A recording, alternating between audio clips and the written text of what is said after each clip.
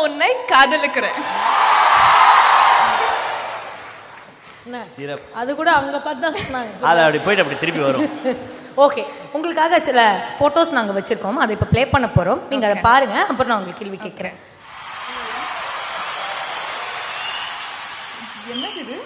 இதெல்லாம் வந்து உங்களோட ஃபோட்டோவாக நிறைய பேர் வால்பேப்பராக வச்சுட்டு அப்படியே திரியிறோம். நீங்கள் இதெல்லாம் லைவாக எங்களுக்காக ஒரு வாட்டி பண்ணி காமிச்சிங்கன்னா நாங்கள் அப்படியே ஹாப்பி ஆகிடுவோம் ஃபர்ஸ்ட் எக்ஸ்பிரஷன்லேருந்து பண்ணி காட்டுங்க.